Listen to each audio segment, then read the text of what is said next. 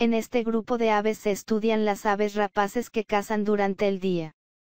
Todas estas aves son carnívoras, o al menos insectívoras, de acuerdo a la especie su alimentación variando desde grillos hasta monos.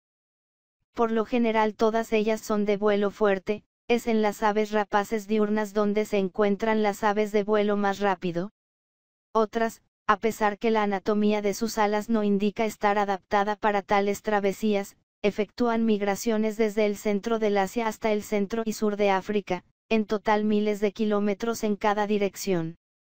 Tienen la mandíbula superior del pico corvada y grande, en muchas de las especies desarrollada para desgarrar, en otras especializada para sacar el molusco del caracol.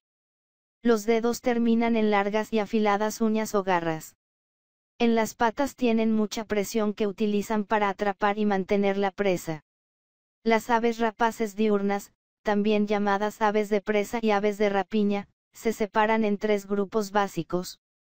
El secretario se asigna en una familia por sí solo. Los halcones, con unas 60 especies, integran otra familia. La tercera y más numerosa es la familia de las águilas, milanos y otras aves afines con un total de unas 240 especies. La familiaridad de las aves rapaces diurnas con las rapaces nocturnas, lechuzas y búhos, se limita a que todas son aves que pueden ejercer el vuelo. En otras palabras, el parentesco entre estos dos grupos u órdenes es el mismo, de acuerdo a su evolución, por favor consulte el orden filogenético de las aves del vuelo, que el de uno de ellos con cualquier otro orden en las aves que vuelan. Águila pescadora. Interesante también es el caso de los buitres americanos que no hace mucho, a pesar que varios zoólogos ya lo habían notado, no corresponden en este orden, aunque es aquí donde se agrupan los buitres del resto del mundo.